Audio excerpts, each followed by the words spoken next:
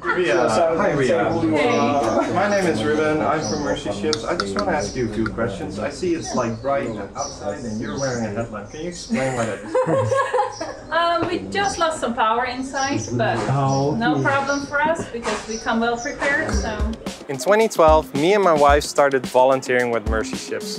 What was meant to be a short-term gig turned into a life-changing experience. Our desire was to help others while partnering with healthcare professionals to build a stronger healthcare system. Nine years later, we've seen some amazing things along the way.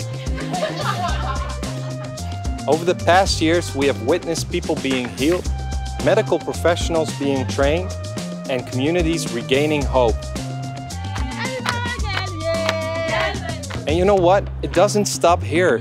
We're currently sailing our new purposely built hospital ship, the Global Mercy, to Europe for final stages of preparation before it will set sail to the African continent.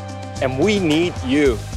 We're looking for people who work in the maritime sector like engineers, officers, and even captains. But we also have positions available to support our community on board, such as teachers, galley staff, photographers, AV technicians, and carpenters.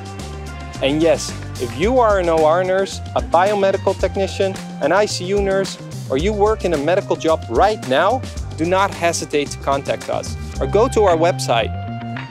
Are you ready to make your mark? Looking forward to seeing you soon.